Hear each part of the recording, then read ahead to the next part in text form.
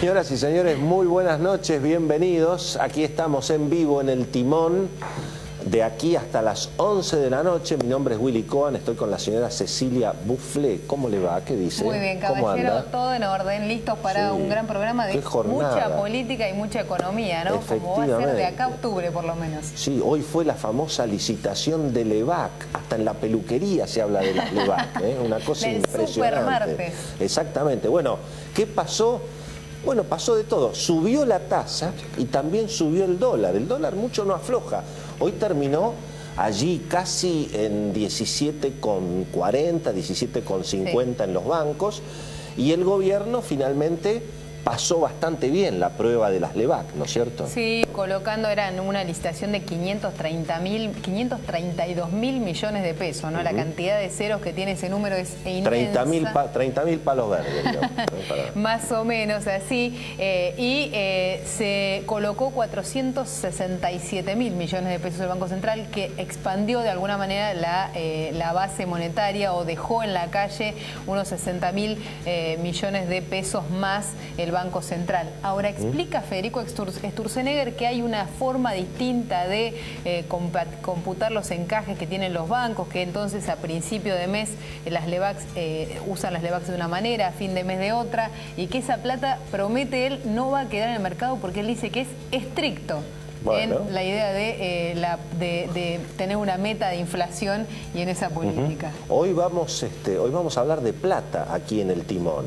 Viene el presidente del Banco Provincia, el que ofreció el 50% en los supermercados, que lo haga todos los días. Es una cosa realmente impresionante. Eso pide la gente, ¿no? Que ¿Mm? eso, es lo que, eso es lo que le piden ahora a Juan Curuchet. Y viene también un especialista en temas financieros para hablar un poquito del dólar, de las tasas de interés, de cómo sigue la película y cómo va a llegar esto a las elecciones. Mientras tanto, bueno, yo diría que se asustó un poquito el círculo rojo con esta historia de que puede ganar Cristina, de que aparecieron las encuestas, que la cosa está medio peleada. Bueno, eh, mucha de la información que, está circulando, por ejemplo, las acciones argentinas en Estados Unidos hoy cayeron tipo 6%, además hay una dolarización de carteras, están subiendo los bonos en dólares, y en alguna medida el círculo rojo le echa la culpa a Macri de que puede ganar Cristina. Pero resulta que Macri le echa la culpa al círculo rojo, dice que no apoyaron, que suben los precios. Entonces hay un clima medio enrarecido otra vez en el ambiente político y para clima enrarecido, ¿a quién tenemos? Al Beto Valdés, ¿no es cierto? A ver si nos eh, aclara el Obviamente, nuestro columnista político y uno de los periodistas mejor informados de la Argentina. Beto, querido, bienvenido, buenas noches. Hay una especie de acusaciones cruzadas, ¿no? Entre... Sí, sí. Eh, a ver, es la pelea que viene teniendo el presidente a los primeros meses de haber asumido, con el Círculo Rojo. Eh, y también, ojo, en mesas del Círculo Rojo independientemente de que están preocupados y que apuestan lo que no tienen con lograr, eh, o por lo menos ver que el gobierno gane las elecciones, fundamentalmente en la provincia de Buenos Aires, porque a nivel nacional seguramente va a ser, como lo venimos diciendo hace tiempo, la fuerza política más votada. Lo concreto es que se escuchan críticas cuando se reúnen banqueros, eh, hombres de de grandes corporaciones, eh, con otros referentes, típicos círculos rojos, se, escuchan muchas críticas al presidente Macri, a Marcos Peña, a Quintana, y como vos bien decías, del otro lado dicen, claro, ¿qué dice el Círculo Rojo? se escucha a Marcos Peña, a oh, Quintana y a Macri, se escuchan críticas. Exactamente. Lo que dicen unos y otros es interesante, porque en el Círculo Rojo eh, consideran que el principal responsable es Jaime Durán Barba de haber recuperado a Cristina Fernández de Kirchner, haberla transformado en competitiva. Eh, le bajó la imagen negativa a la expresidenta fundamentalmente en la provincia de Buenos Aires. Recordemos que en algún momento llegó a tener más del 60% casi rozando el 70. Entonces dicen que eso fue una movida de Jaime Durán Barba, que en su momento decía que solo un 15% de la sociedad la quería Cristina presa. Eh, entonces, en definitiva, dicen que esto no era el escenario ideal y, que mm, una mala performance del gobierno en las PASO no sería la mejor noticia. Del lado de la Casa Rosada lo que plantean es que ellos son los responsables y aparece PepsiCo, por ejemplo, como ejemplo o como digamos alternativa desde el punto de vista de ven, no, colaboran, independientemente de que como vos bien decías hoy en la radio, a PepsiCo, a PepsiCo le han terminado pegando todo, todo, el mundo le pega, le pegan las empresas, le pega de alguna manera en voz baja la UIA, la Copal, en plan de che, nos hicieron quedar a todos como unos medios, como unos HDP, ¿no es cierto? es decir, porque la empresa, bueno, no tuvo de alguna manera un procedimiento de comunicación, de crisis, de ir preparando la situación. Sí, claro, la empresa eh, llamó a los trabajadores el día que había cerrado, avisarles que no fueran a la planta, que había un cartelito en la puerta. De todas maneras, yo, yo, yo, creo que... También es cierto que pagó doble indemnización. y, el gobierno, y el gobierno hace bien en, digamos, garantizar el Estado de Derecho. No, no se pueden ocupar fábricas. Sí se puede hacer una huelga, por supuesto, se puede protestar, pero no se pueden ocupar fábricas. Eso me parece que está bien que el gobierno haya puesto un límite en ese sentido, pero dentro del oficialismo... Ese es, el error, ese es el error que cometió PepsiCo, en definitiva. No es eh, haber eh, manejado mal la situación en términos sindicales, porque arregló la gran mayoría. Lo que faltó es un consultor político, alguien que les dijera, eh, miren muchachos, que acá se juega en lo electoral. Es el vehículo ideal para el frente de izquierda, para los trotskistas, que quieren en la provincia de Buenos Aires hacer una elección, es casi el lanzamiento de campaña, hay que preverlo. Me parece que si quieren hacer una movida de transferir la planta, háganlo después de las elecciones, o lo hubieran hecho con mucha anticipación. Y además ahí hubo un proceso donde el gobierno quedó expuesto, se, mostró poco en los medios de comunicación, pero el ministro Buyaile, por ejemplo, dio una conferencia en el, en el Davosito con el presidente PepsiCo anunciando que ampliaban su planta de Mar del Plata. Claro, le faltaba contar la otra parte de la película, ¿no? que cerraban una en Florida. Bueno, en el gobierno hay mucha, mucho malestar con PepsiCo, en el gobierno nacional y en el de María Eugenia Vidal.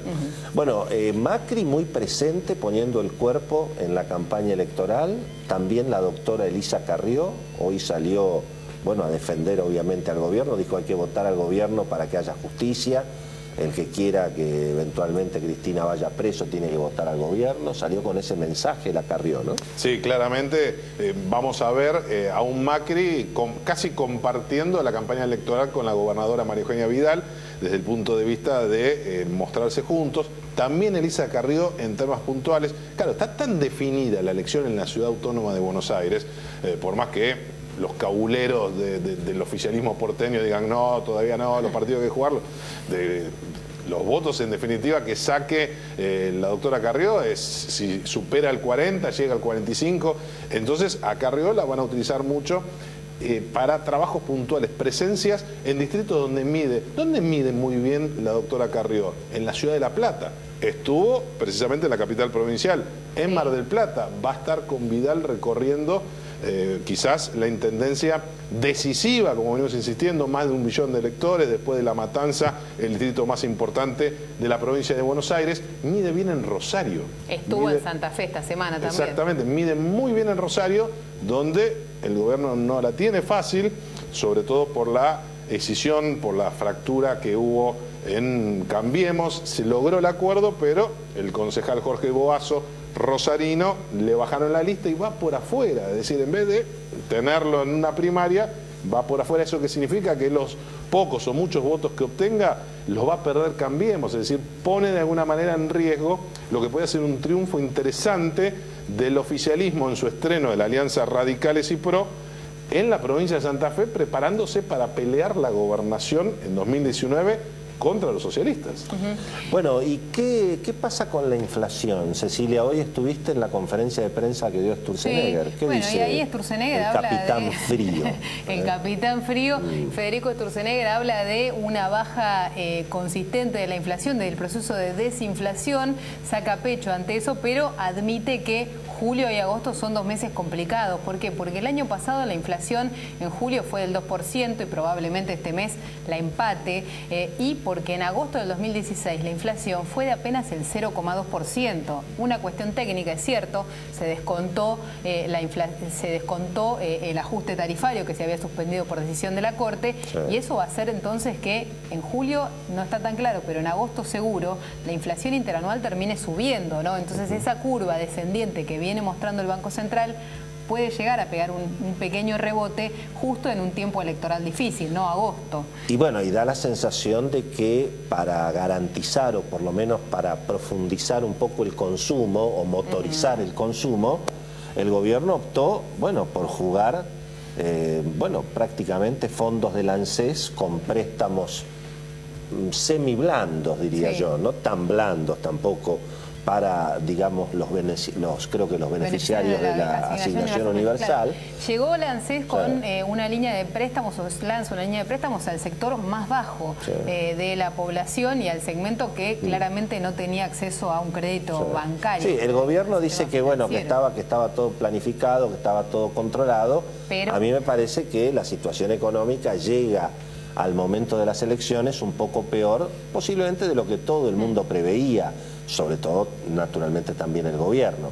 Y en ese sentido, bueno, se termina jugando una medida para alentar el consumo que veremos si efectivamente logra generar esa mejora. Son nada más eh, y nada menos que 50 mil millones de pesos lo que puede poner sobre la mesa la ANSES, tramitar 12 mil créditos por día, dice, créditos, microcréditos de entre 3 mil y 30 mil pesos, eh, puede llegar a tramitar 12 mil créditos esos todos los días, pero no es la única medida, eh. también hay algunos avances de pequeños créditos para refacciones y ampliaciones de vivienda del Procrear, créditos pequeños también para la compra de materiales de la construcción, eh, mucho keynesianismo quizá en este momento y en ese proceso sobre un sector de la población que es el que más ha sentido el impacto de la inflación del último año. Claro, exacto. El gradualismo trajo eh, resultados demasiado graduales, ¿no es cierto? Me imagino para un que habrá que tiene poca paciencia. Claro, habrá respirado con algún alivio todo el equipo de María Eugenia Vidal, Esteban Bullrich, estas son noticias que algo pueden ayudar al gobierno en la batalla del conurbano, por decirlo de esa manera, Beto. Sí, fundamentalmente me parece que eh, reflejan lo que venimos hace semanas anticipando, reflejan lo que pasa en las encuestas, lo que se percibe por estas horas, lo que veníamos comentando, una Cristina Fernández de Kirchner ganando por mucha diferencia en la tercera sección electoral, la primera sección eh, está parejo, y el interior todavía tendría que compensar con mayor contundencia. Entonces, en definitiva, eh, lo que está planteando el gobierno es em, tratar eh, de captarle algún voto eh, de los sectores que se han visto perjudicados. Algo que quería claramente la gobernadora María Vidal, que marcaba sus diferencias con quizás la mirada de Marcos Peña o de Quintana en términos de lo que ellos percibían.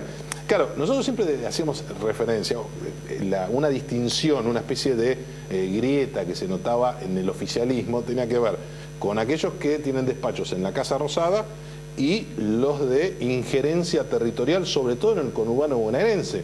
Hay muchos intendentes, y lo hemos comentado semanas atrás, que se quejaban no solo de los ajustes o, que este año no tendría que haber aumentado absolutamente nada para ganar las elecciones, eh, sino además muchas críticas contra Federico Sturzenegger y al día de hoy, porque consideran que todo esto no desalienta la inflación y fundamentalmente lo que golpea y los que gestionan e-, este tipo de distritos lo que perciben es a las pymes muy golpeadas y la financiación de las pymes se ve claramente perjudicada por la tasa de interés del presidente del Banco Central. Entonces la estrategia es tratar de captar de alguna manera los sectores que están más golpeados por el ajuste pero también todos contra Sergio Massa. Allí le salieron a pegar, hoy le salió a pegar en discordia. la propia Elisa Carrió, le salió a pegar Mazot. El, que arrancó con esa estrategia evidentemente fue el presidente de la Cámara de Diputados y, que, eh, perdón, el presidente del bloque del PRO, eh, Mazot, que es un hombre de Monzó, es decir, del ala política, eh, los que no se querían pelear ni con el peronismo ni con Massa, lo cual demuestra eh, también una consecuencia directa de las encuestas. Todo lo que pueda sacar Sergio Massa eh, le preocupa al oficialismo, es decir, el oficialismo quiere un Massa pinchado. es decir, que esté más cerca de un 15% que de un 20 o 22 como sacó en la primera vuelta de 2015. Y en función de esa situación, ellos lo que están percibiendo en algunos de los sondeos que les llegaron es que el ex intendente de Tigre tiene votos en el conurbano bonaerense, en, hasta en el segundo y tercer cordón, y que eso se lo tendrían que sacar. ¿Por qué? Porque es un voto que no quiere a Cristina, pero que evidentemente quiere votar contra el gobierno o está mal económicamente. Bueno, señora, Está Florencia Arieto eh, hoy en, el, en nuestro programa, candidata a diputada nacional del espacio de Sergio Massa en la ciudad de Buenos Aires, así que con ella vamos a hablar también de, ese tema. Está Alejandro Bianchi para hablar de mercados, eh, eh, analista de Invertir Online, trae el libro nuevo, así que después se lo vamos a mostrar. Y en un minutito, después de la tanda y después de que les cuente el Twitter, arroba el Timón TV, estamos entrevistando a Juan Curuchet, el presidente del Banco Provincia.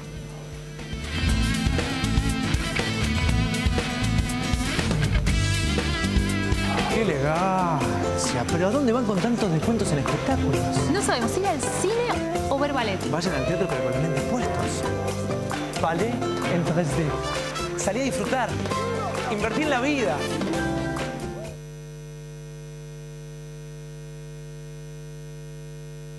Si pensás en una universidad, pensás en UADE. UADE, tu futuro comienza en una gran universidad.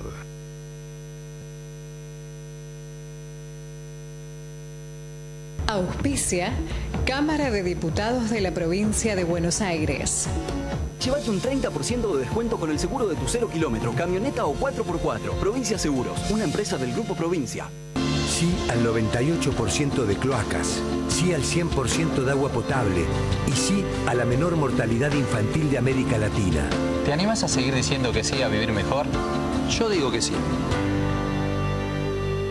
Los vecinos ya subimos muchas propuestas a BA Elige. Si querés apoyarlas para que se hagan realidad, entra a buenosaires.gov.ar barra y elegí tus favoritas. La ciudad es mucho mejor cuando la construimos juntos. Buenos Aires Ciudad. Vamos, Buenos Aires.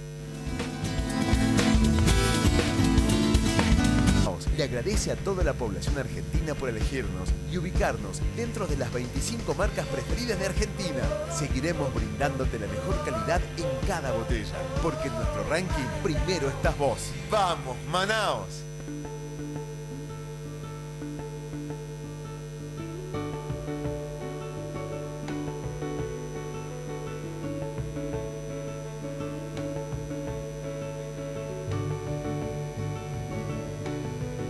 Estamos orgullosos de nuestra naturaleza, argentina y solidaria.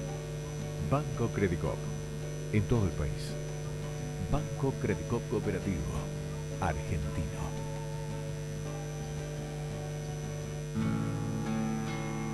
Cada caja que abro hace más mío este espacio de 50 metros cuadrados.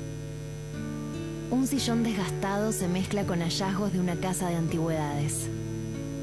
Notas de lavanda y vainilla se fusionan en el aire. El departamento tercero A dice, este es tu lugar. Independencia.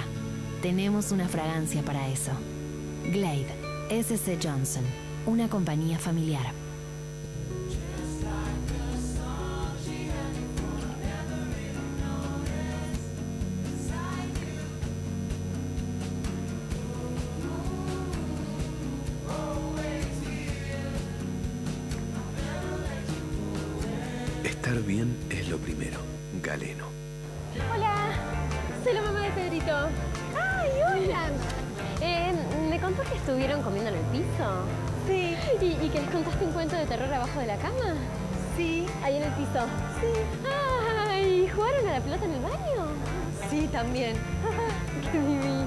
Igual quédate tranquila, que desinfecto con Lisoform. Y además de limpiar, cuido a Pedrito, a mi casa y a toda mi familia.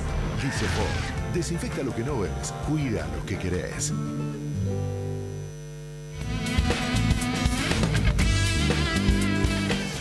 Señoras y señores, gracias por esperarnos. Ya estamos con Juan Curuchet, que es el presidente del Banco Provincia. Bueno, fue noticia en las últimas semanas por una determinación que muestra que cuando bajan los precios, por algún motivo, el consumo está. Eh, y eso es lo que me parece que se demostró con la explosión de consumo que generó la reducción del 50% de la promoción esta de la tarjeta del Banco Provincia. Eh, y, al mismo tiempo, bueno, por supuesto, anima a decir, también se pueden bajar los impuestos en algunos casos para que bajen algunos precios. Y eso generaría también mucho consumo. Y ahí tenés, digamos, la solución, Juancito. Vos tendrías que, tenés que asumir como ministro de Economía. No me metas en problema. Así empezamos. Un abogado, un abogado. Vos resolviste el tema del consumo. Probemos con un abogado. Ahora, bajamos los impuestos. En la provincia, en la capital federal, para el crédito hipotecario y probablemente se va a terminar recaudando mucho más por ese mismo impuesto sobre hipotecarios que ahora se van a dar que el 8% que había sobre cuotas de hipotecarios que no había en todo el país. Así que, no, yo creo que bienvenido ese debate. Eh, el propio presidente de la Nación dijo el otro día, fue muy duro, dijo, nos están matando los impuestos. Eh, bueno, está en la agenda, es importante para Argentina, es importante para el consumo, para la economía. Así que, bueno, del lado del Banco Provincia tratamos también de, de ayudar a, nuestros clientes a que tengan una buena propuesta. ¿Y esta bendita promoción va a seguir o eh, se armó tal despelote que, digamos van a, ver qué pasa? No, la, idea es que continúe.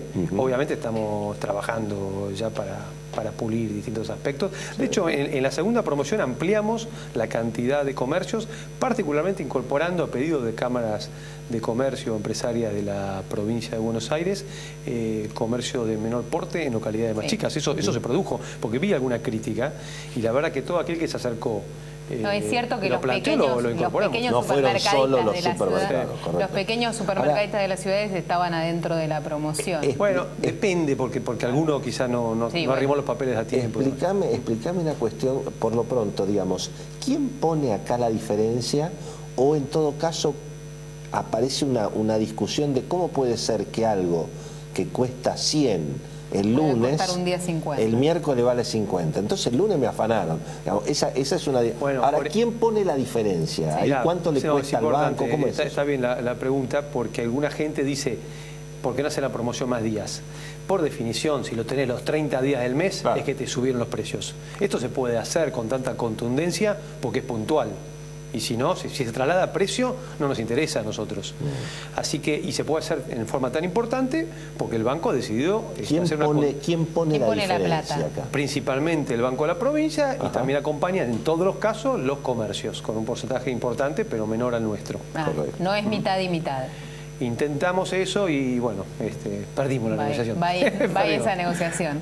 Y los supermercadistas son No, no, pero a ver, somos, somos el banco público de la provincia, somos el banco de los bonaerenses, tenemos casi 4 millones de clientes y estamos ganando eh, buena plata.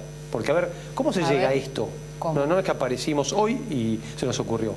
Primero, una tarea de ordenamiento desde que asume el nuevo equipo de María Eugenia Vidal en el banco, de poner el banco en orden. El día que yo ingreso y el nuevo directorio ingresa, había 30 mil millones de pesos de faltante, es decir, de, no, no que se lo habían robado, pero era el préstamo que el banco a lo largo de los últimos años le había hecho el gobierno de Scioli mm. para pagar gastos corrientes. Esa plata no estaba, se había ido. Bueno, no solo que empezó a regularizarse ese ese monto, sino que en este año y medio el gobierno de María Eugenia Vidal no, no, le pidió al Banco de la Provincia ni una sola vez plata, ni un centavo. Entonces, esa plata que antes estaba para financiar el gasto público y la política en general, en sentido amplio, este, ahora está para prestársela a las pymes, al crédito hipotecario y para hacer bonificaciones mucho más importantes para los propios bonaerenses. El primer semestre del año el banco cerró un balance ganando arriba de 3.100 millones de pesos. Estos seis veces el 2015. Esto es el doble del año pasado. ¿Por qué ganamos plata? Porque le cobramos comisiones y tasa de interés a nuestros clientes. Entonces, no tenemos un financiamismo. y con la LEVAC no ganaste. Sí, pero secundariamente, porque somos el banco que en términos relativos tiene menos posición en, en LEVAX. No, no es un fin nuestro la rentabilidad vía LEVAC.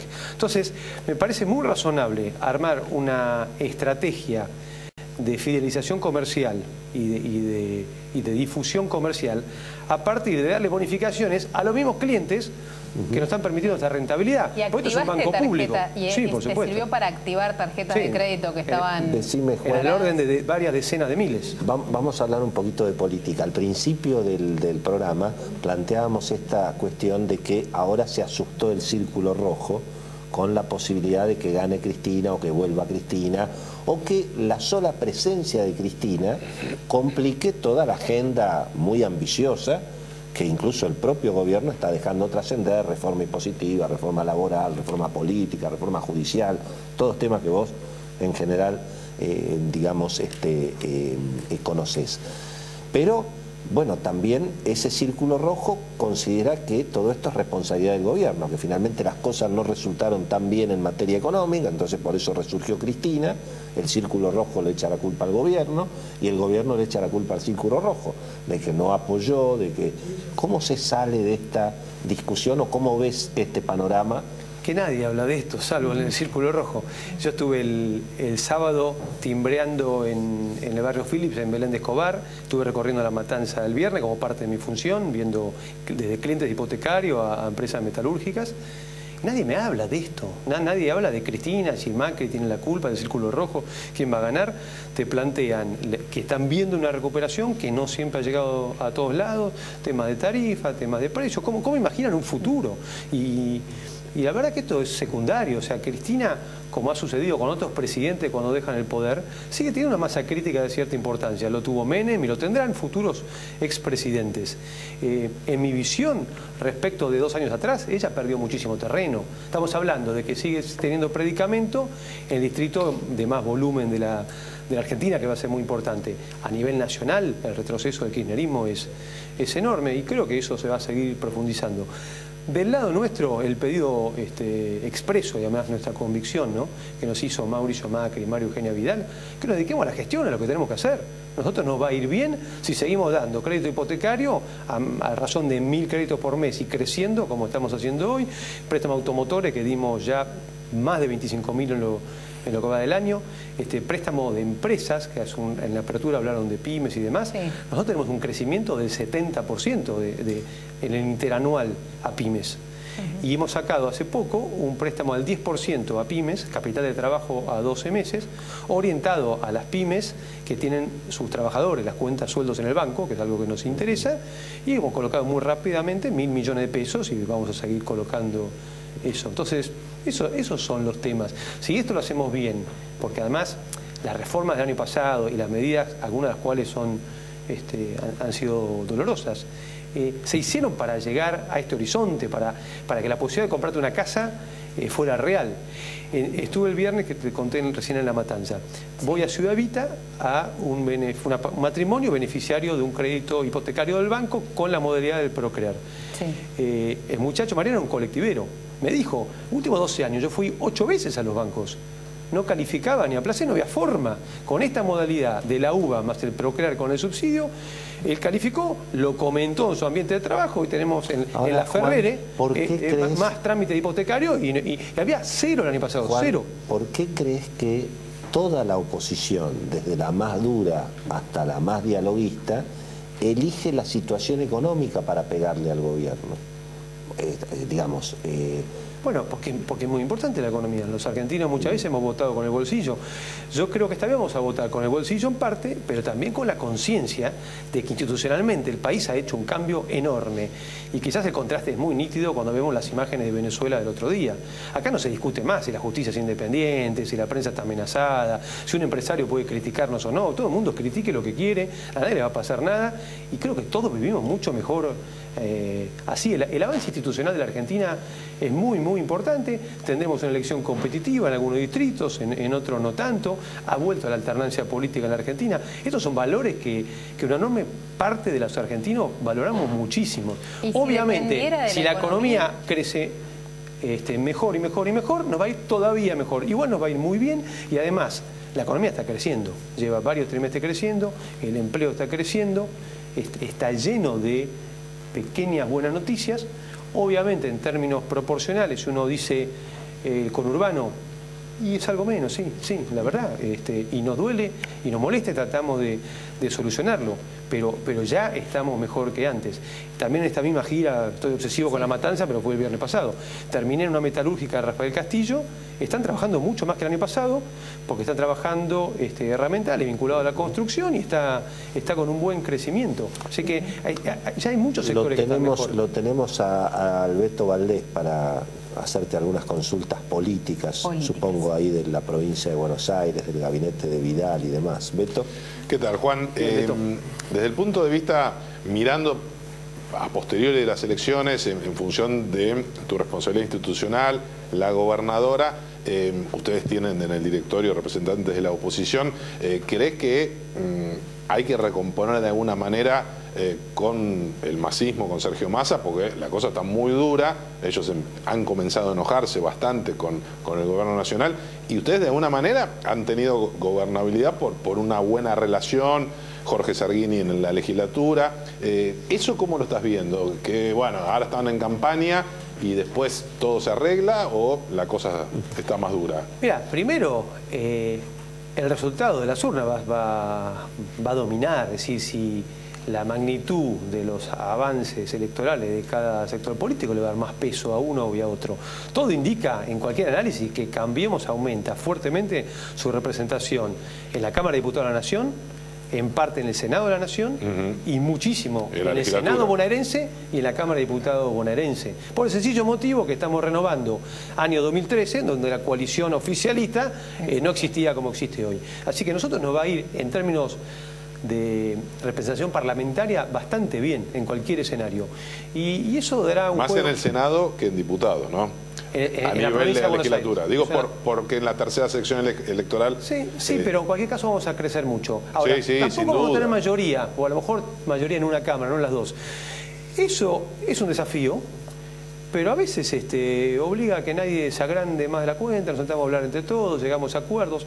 Eh, no ha sido un problema estos primeros dos años, donde teníamos una minoría muy nítida. Yo creo que menos va a ser un problema. Pero en los siguientes dos años no, vamos a tener más diputados y más senadores. Pero no había tanta presencia de diputados y senadores provinciales de, Cristina. Claro. Y a ver por qué. eso, eso va a ser novedoso. estaba Otavi, ¿por qué? No, no. Digamos que estaban en una crisis. Ahora los que te mete eh, van, a, van a responder a ella, claramente. No, yo, creo que eh, hay un clima de convivencia política que se logró en la provincia que va a continuar. ¿no? Otavis da la sensación de que estaba en otra. Ah, pero eso lo decís hoy. Eso lo decís hoy. Eh, no, no, no. en agosto de 2015 que decía el jefe de la cámpora. volteó el presupuesto, acordate, en, los primeros días de la gestión Señora. Una cosita más sobre, volviendo a, tu rol de, banquero, digo, ahí hay mucha discusión alrededor de la tasa de interés. Hoy Federico Turcenega dijo que la tasa de interés no era noticia, que no había información alrededor de la tasa de interés. ¿Cómo le impacta a todos los créditos que da un banco la tasa de interés que pone el central? Lo que pasa es que nosotros nos veíamos mucho por la Badlar. Se movió 0,50 en los últimos tiempos y, ahí quedó. Eh, así que yo creo que en, la cartera de préstamos los bancos no, eh, no va a haber suba. Recordemos que la, la Badlar es la que la digamos, la que paga los depósitos a plazo fijo de más de, tantos millones. Claro, la tasa de referencia entre empresas que usamos los bancos.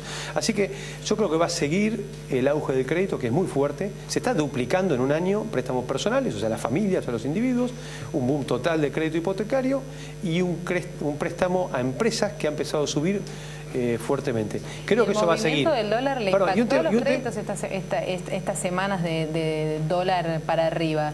Eh, ¿Frenaron las consultas o impactó en las consultas de, hipotecarios y personales?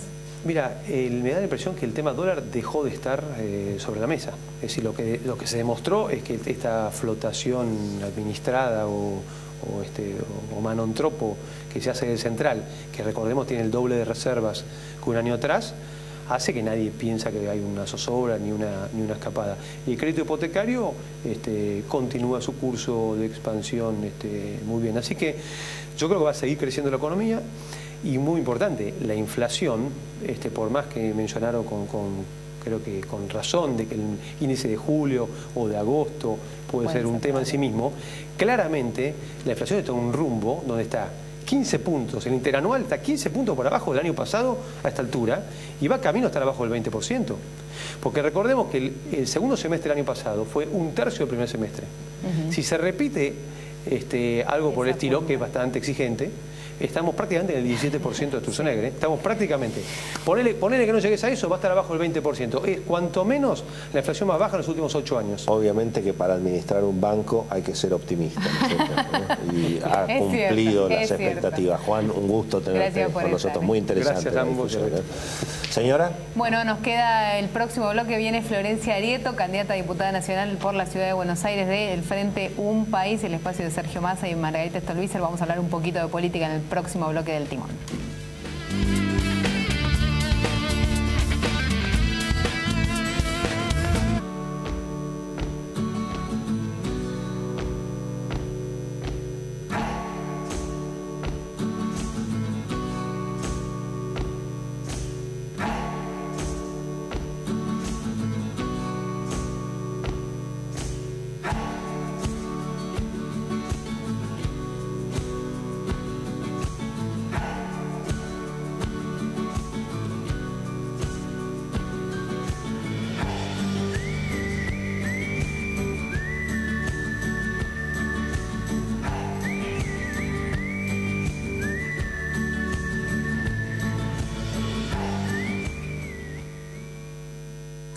En el invierno. Pasos para estornudar correctamente. 1. Estornudar sobre el pliegue del codo.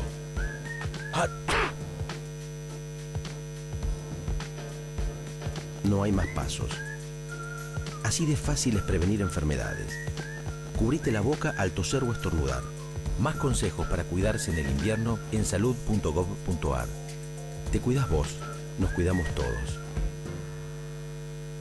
presentamos el nuevo Lisoform cremoso con acción antibacterial. Su exclusiva fórmula limpia profundamente, desinfecta en un 99,9% virus y bacterias y no contiene lavandina. Limpia, blanquea y desinfecta en un solo paso todas las superficies. Usa Lisoform en tu hogar. Antes, por esos caños que ves ahí, pasaba el gas que le vendíamos a Chile. Ahora es al revés. Chile usa los mismos caños para vendernos gas a nosotros. Hoy la verdad es esa, pero juntos la podemos cambiar. Por eso, estamos incentivando el desarrollo local de gas, como Vaca Muerta, una de las formaciones de gas más importantes del mundo. Estas obras son las que necesitamos para no depender exclusivamente del gas que le compramos a otros países. Las obras ya están en marcha, van a llevar tiempo, pero juntos las vamos a terminar. Cuidemos juntos el gas.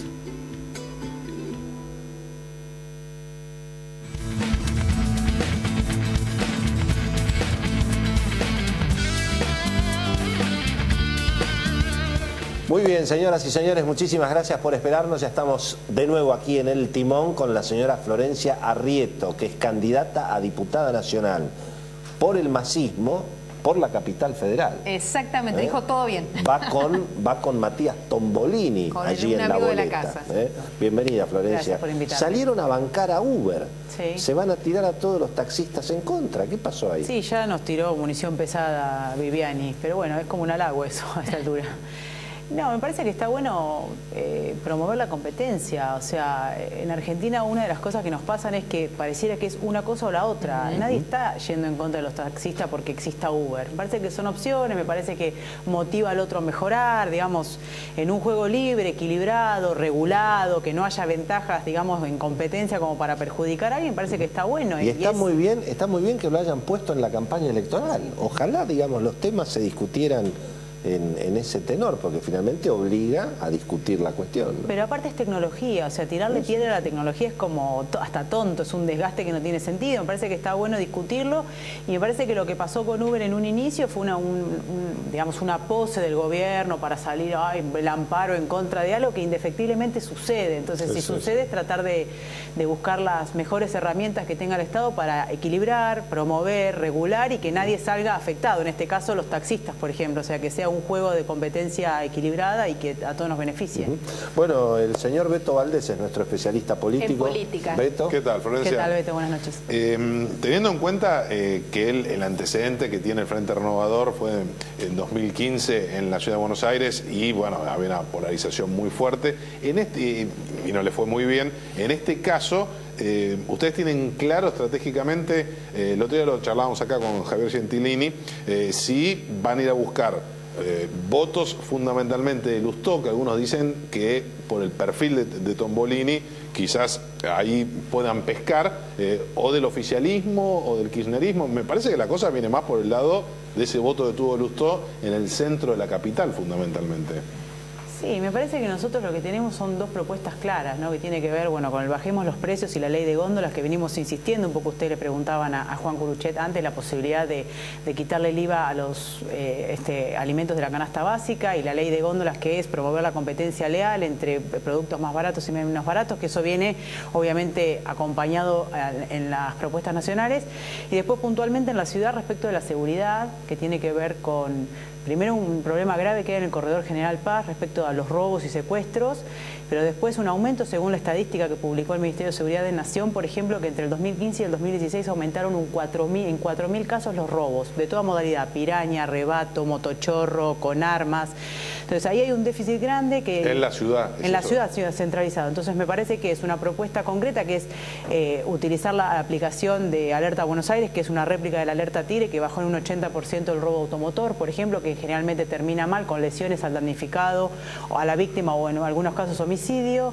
Eh, trabajar con policía en términos de eh, más del 40% de los policías que trabajan que en la ciudad viven en el conurbano, viven, alquilan porque no son propietarios y en general viven cerca o a dos cuadras de quien vende Paco. O sea que a esa persona que le pidamos que trabaje en prevención, que se juegue con un sueldo bajo, con problemas para para llegar a fin de mes, mm. digamos, es un poco difícil. Entonces, trabajar en cuestiones de crédito blando para vivienda Pero digo, parecería que esa, que esa descripción es más de la bonaerense que de la de la policía de la ciudad. Sin embargo, vos decís que esa problemática también está... No, no, no, no. Los policías de la ciudad, los policías de la ciudad que trabajan en la ciudad... uno tenía la sensación de que estaban como mejor categorizados que esto, que tenían... No, tienen mejor prensa. Tienen mejor prensa. Pero, pero no tienen mejores ingresos que la bonaerense, por ejemplo. Eh, la verdad que no tanto, por lo menos ahora están eh, viendo que le sacaron las adicionales, pero no le hicieron un aumento proporcional a esas adicionales, que era como una especie de sueldo en negro, pero era algo extra que ganaban para equilibrar dentro del básico. No tienen acceso a crédito blando para vivienda, por lo tanto no tienen posibilidades de que sus hijos accedan a un hogar. Viven, como digo, los policías de la ciudad en su mayoría viven en el conurbano, no en su mayoría, pero un 40%, un poquito más viven en, la, en, el conurbano. Entonces digo, hay todo un contexto donde nosotros le pedimos efectividad a una policía que no acompañamos socialmente, por un lado. Y por otro lado es eh, descentralizar la justicia de instrucción, replicar los campañoles, como digo yo. En la, en la Fiscalía de Núñez Saavedra, Campañoli trabaja con la Comisaría 49 y con la 35. Y los vecinos saben que si tienen sospecha que la 49 puede estar eh, entongada en el delito, pueden ir y recurrir al fiscal. Tienen cara, tienen nombre, saben dónde trabaja y cómo trabaja. El resto de los barrios, en la mayoría, tienen que ir a Catalcabueno 550 a un piso que no sé dónde, no se sabe dónde está el fiscal, no se sabe dónde está el juez. Entonces, más van a ir por un delito de corrupción menor. O de robo, por ejemplo. Parecería claro que el foco son temas, digamos, bien de la ciudad. Te toca pelear contra Elisa Carrió, que es como, bueno, una de las, De, las grandes eh, estrellas del momento en materia, digamos, electoral. no, lo que, volviendo al tema y linkeando, digamos, esas son las propuestas y los ejes. Nosotros sabemos que somos los espartanos contra el ejército persa acá, o sea, y, nosotros eh, tenemos en claro eso, pero me parece que le podemos hacer una propuesta concreta a los votantes y ahí toco, te contesto específicamente a vos, Beto, que decías, puede ser para la gente del peronismo, puede ser para la gente de Firmus, puede ser para Lustó, puede ser para la gente de Carrió o del PRO o de la izquierda, porque lo estamos diciendo concretamente es, nosotros sabemos cómo y queremos hacerlo y te contamos cómo, hablarle a los porteños y a las porteñas en términos de seguridad y justicia y de economía.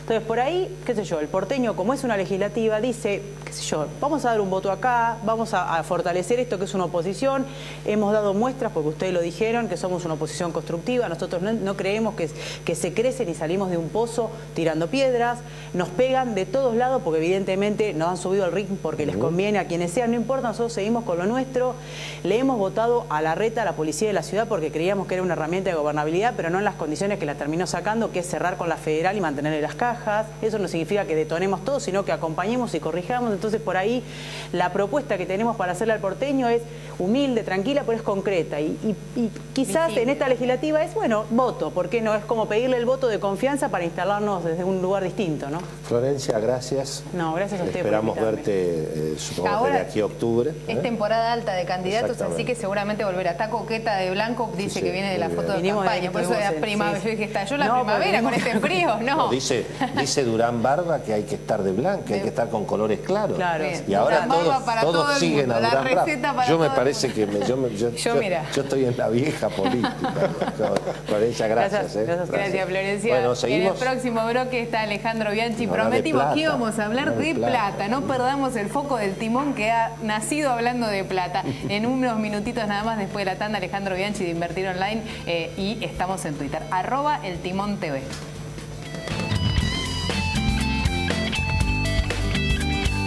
¡Qué elegancia! ¿Pero a dónde van con tantos descuentos en espectáculos?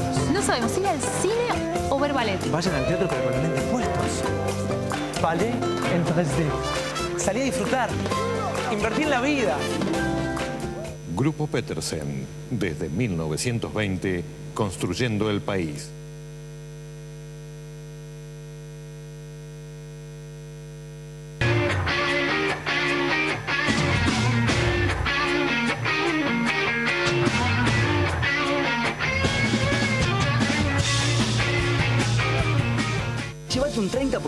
Descuento con el seguro de tu cero kilómetro, camioneta o 4x4. Provincia Seguros, una empresa del Grupo Provincia.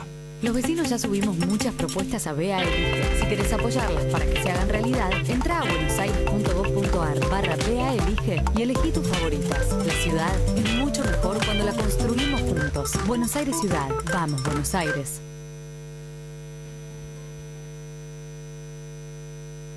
Auspicia Gobierno de la provincia de Córdoba. Entre todos.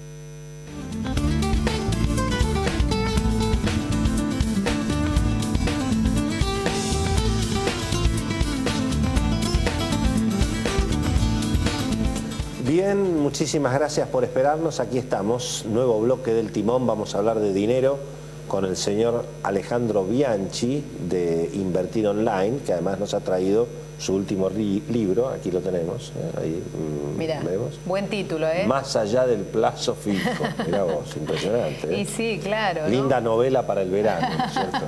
Así que bueno, profesor, bienvenido, ¿eh? un gusto. ¿Qué es Invertir Online? Invertir Online es la sociedad de bolsa hoy número uno de la Argentina, ¿no? Tenemos este, la, suerte de haber este, cumplido más de 15 años en el mercado de capitales argentino y hoy somos la la sociedad número uno en términos de cantidad de clientes, tenemos más de 15.000 clientes, clientes de todas las escalas, gente que tiene millones y gente que tiene desde 10 mil pesos y que eh, todos reciben un servicio eh, similar a través de nuestra página web que es www.invertironline.com. Ahí se puede comprar, se vender meten, las Levax. Abren una cuenta y ahí pueden comprar Levax. Hoy, en el día de hoy, este vos sabés que trabajamos con mucho cliente, digamos, retail, clase media, la gente está volcándose a las LEVAC. Hoy solamente suscribimos 360 millones de pesos en la licitación del Banco Central.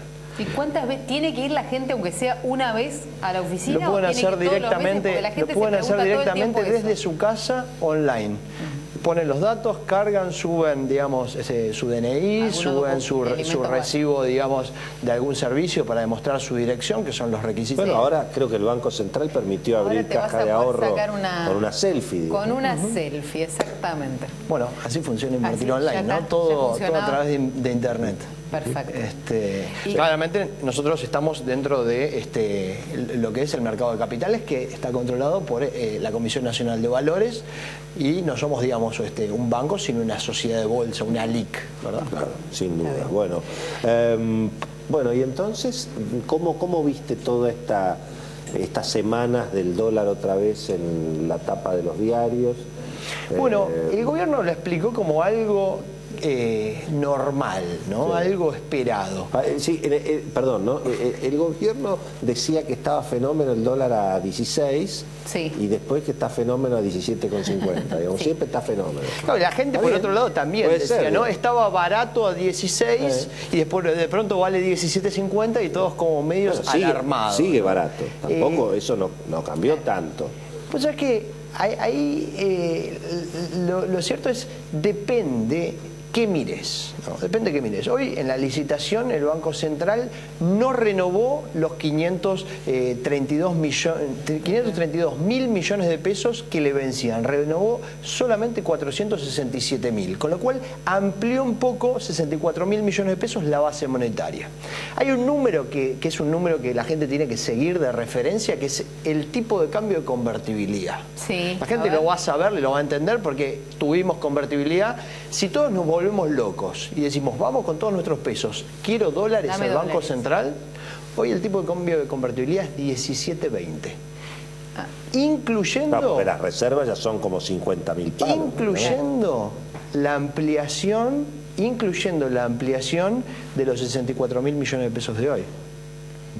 Es decir, si vale 17.50, estás pagando por arriba de lo que te daría dólares el Banco Central si todos nos volvemos todos locos cambiamos y, los y- pesos y- por y vamos contra la Digamos, inflación, uno, ¿no? uno percibe que el dólar es barato respecto del resto de los precios. Es decir, porque el resto de los precios han subido bastante más que el dólar, ¿no? Ahí va, y, y ahí Las es cosas donde... están caras en dólares. ¿eh? Ahí, ahí va, ahí es donde me parece que hay que entender un poco la política y el pensamiento de Sturzenegger, ¿no? Yo eh, hoy posteaba justo en el Twitter un- un- una, una encuesta donde ponía cómo es la historia de Sturzenegger, ¿no? Entonces es la película El Quijote contra los molinos de viento, ¿no? Pues es, parece él solo jugando con, jugando con la tasa de interés para contener la inflación, ¿no? Y, y la inflación como un molino de viento, porque en realidad lo que está detrás, que es el mal de todos los males, es el, eh, el déficit fiscal. Claro, por eso yo creo que en algo- ya lo hemos dicho algún día, alguna vez aquí. O sea, yo creo que todo lo que dice Federico Sturzenegger es cierto y él tiene razón. Si fuera presidente de la Reserva Federal. Claro. Pero digamos, él es presidente del Banco Central, lamentablemente no tengo, que emite papelito de colores, no emite dólares. Entonces, esto de jugar con la cantidad de dinero, con la tasa de interés, como si estuvieras en la Reserva Federal, cuando tenés siete puntos de déficit fiscal, es medio relativo, digamos. Es relativo, ¿no? por eso yo ponía es, En la teoría es- tiene es razón. alternativa. La otra es, bueno, justamente se llama Sturzenegger, mis amigos ahí en las mesas de dinero lo llaman Schwarzenegger, Schwarzenegger, ¿no? Dicen que le va a doblar, digamos, la pulseada a la inflación, siempre y cuando cosa que no está pasando y no creo que pase hasta las elecciones, después desde lo fiscal lo ayuden, porque solo me parece que no puede. ¿sí? Y la última es si la película es Titanic. ¿no? Y este, eh, a ver, a ver, Beto, a ver, Beto, este wishful thinking, este wishful thinking del círculo rojo, del mercado financiero, de que después de las elecciones va a haber un ajuste fiscal y Macri, digamos, va a encarar alguna suerte de reforma de, segunda generación. de- ¿Vos qué- laboral. ¿qué, qué se dice de todo eso en el mundo político? Eh, hay bastante escepticismo, fundamentalmente porque eh, el gobierno, como la gran mayoría de la clase política en la Argentina, vive el día a día. Es decir, no hay una mirada, y más en un año electoral, con interrogantes en la provincia de Buenos Aires, con lo que ya sabemos en la Argentina, eh, animarse a firmar lo que va a hacer el gobierno eh, a partir del 10 de diciembre, cuando se renueven la- las cámaras, me parece que es un poco eh, arriesgado. Sobre todo teniendo en cuenta, porque no sabemos a ciencia cierta, podemos suponer cómo queda eh, el escenario, pero va a tener que seguir negociando con los gobernadores del PJ y, por ejemplo, la reforma tributaria, cuando se siente con los gobernadores del PJ, lo primero que le van a decir es que queremos más plata. Y, y allí, es decir, ¿cómo, cómo ves esta, justamente esta percepción? Eh, ¿Los mercados tienen temor a que vuelva Cristina eh, o confían en que Macri va a poder dominar esta trampa del déficit fiscal, la inflación, la- la- la- las... Uno de, digamos, de, digamos, de los eventos más importantes que, que ocurrió recientemente y que frenó lo que venía siendo la suba del Merval fue que no ingresamos como mercado emergente. Cuando vos lees el comunicado de, la compañía MSCI, que es la que dice, bueno, ¿dónde estás? ¿En qué círculo estás? ¿Sos un, mercado clase C de frontera o sos clase B de emergente o sos clase A, digamos, de desarrollados? Dicen, todavía sos clase C. ¿Por qué?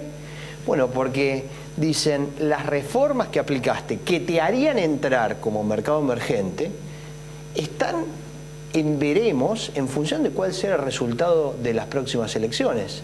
¿Qué Nosotros como compañía, MSCI dice, tenemos que tomar una decisión de largo plazo. No podemos poner un país como emergente si después pierde las elecciones el oficialismo y, digamos, y se da marcha atrás desde el Congreso todas las reformas que se hicieron que lo Pero el mercado sigue, a pesar de todas estas dificultades, el mercado sigue optimista. El mercado todavía está, en máximos, está, en máximos, pero hay algo de volatilidad, hay algo de dolarización de, cartera. El dólar, digamos, no se fue a 17.50 solo, hay alguien que está comprando, ¿no? Eh, cuando uno mira, por ejemplo, el cierre de hoy del Merval, uno ve una corrección en acciones, y los bonos en dólares subiendo un poquitito. Eh, e, ese tipo de pequeñas sintonías que uno va detectando, los que estamos más en la mesa en el día a día, eh, se ven y es lo que presiona quizá un poquito al alza el dólar y quizá le imprime un poquito de miedo a quien invierte más en renta variable en acciones. Hoy hubieras renovado a hoy con el dólar a 17.50 y la tasa en 26.50, ¿renovabas o pasabas por caja y ibas a buscar los dólares? Yo creo que, supuesto que renueva. Yo creo que es primero la tasa de, de Levax, hoy 26.50. Más abajo la tasa de inflación, 21 para este año. Y más abajo la depreciación del dólar, que va a estar alrededor del 17-18%. Así que de acá a fin de año la tasa de interés en pesos le gana todo. Lo más conveniente. Levac mata todo. Levac mata Estimado, gracias. ¿eh? Un abrazo muy grande, muy interesante. Señora. Sí, perfecto. Muy interesante. Y eh, nos queda un bloquecito más, el bloque de los chismes. Así que quédense ahí que viene el último bloque del timón. Ya volvemos.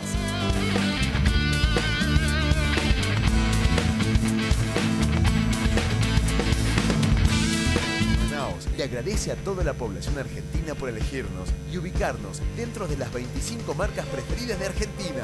Seguiremos brindándote la mejor calidad en cada botella, porque en nuestro ranking primero estás vos. ¡Vamos, Manaos! Cada caja que abro hace más mío este espacio de 50 metros cuadrados. Un sillón desgastado se mezcla con hallazgos de una casa de antigüedades. Notas de lavanda y vainilla se fusionan en el aire. El departamento tercero A dice, este es tu lugar. Independencia. Tenemos una fragancia para eso. Glade, SC Johnson, una compañía familiar.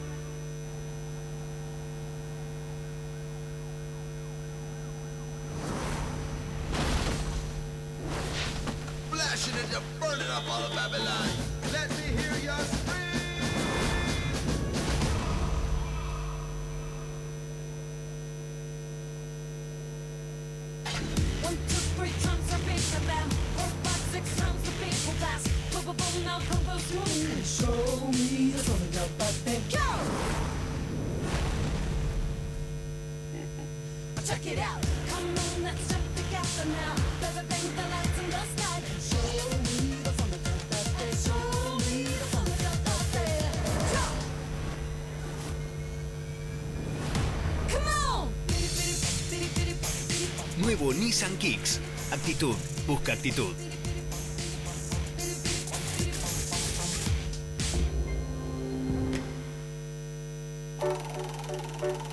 Los productos de Lisoform tienen muchísimas formas de usarse. Mira en todos los lugares donde puedes aplicarlos. Usa Lisoform discos activos en el inodoro que ayuda a mantenerlo limpio y además al aplicarlo no entras en contacto con los gérmenes. Usa Lisoform en tu hogar.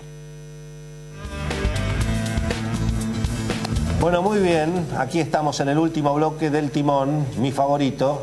Para preguntarle a la señora Cecilia Buflé qué tenemos o qué tiene usted para contarnos Mira, antes de Primero, le- un chismecito de negocios. Mm. Ahí avanza la negociación para la compra de Sancor. ¿Quién es la más avanzada? Fonterra, una cooperativa láctea, pero que funciona bien. Unos de Nueva Zelanda, los All Nueva Black. Zelanda, Ahí está. exacto, la cooperativa láctea más grande del mundo. Hay una canadiense también dando vuelta. Las dos quieren comprar el total de la empresa. Está un poquito trabado hoy porque la empresa, porque la cooperativa quiere vender el 80%. ¿Cuánto piden por el total de la empresa? ¿En cuánto se valúa? En 600 millones de dólares. Dice que ninguno quiere pagar eso. ¿eh? La- el contexto y la conflictividad y la dificultad en la que está Sancor va a hacer que esa compañía se termine vendiendo por algo que sería poca plata para el activo que es esa marca, ¿no? Bueno, Beto, siguen allanando sindicatos. ¿eh? Esta vez le tocó al de las estaciones de servicio, miembro del triunvirato de la CGT.